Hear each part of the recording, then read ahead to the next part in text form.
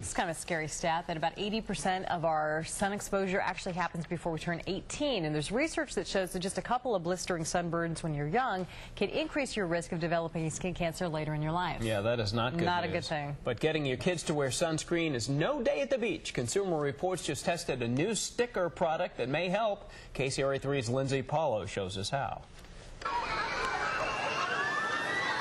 Kids love a day in the sun at the pool. Applying sunscreen helps keep them protected, but remembering to reapply is just as important. So how long do you wait between applications? Consumer Reports just tested a new product that promises an easy answer. Huggies Little Swimmer Sun Sensors claim to help avoid sunburn by reminding parents when it's time to put more on. They're yellow stickers with tiny sun patterns. When the sun pattern fades and the stickers darken to deep orange, time to reapply. To test, Joan Muratore placed the stickers on a piece of cardboard and left them out under the open sky. The stickers turned dark orange and the pattern disappeared in under an hour on a sunny day and a bit longer when it was cloudy. That's well before the American Academy of Dermatology says to reapply sunscreen. It recommends every two hours. Besides knowing when to reapply, knowing how much to use is also important. Most people don't use enough.